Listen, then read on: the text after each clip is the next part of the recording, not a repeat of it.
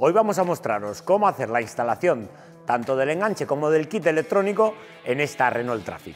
Colocaremos la pieza derecha con la ayuda del tornillo de 14. Colocaremos la bola, en este caso, sobre los orificios de la parte superior. Conectaremos el cable gris con el cable naranja de marcha atrás de nuestra instalación.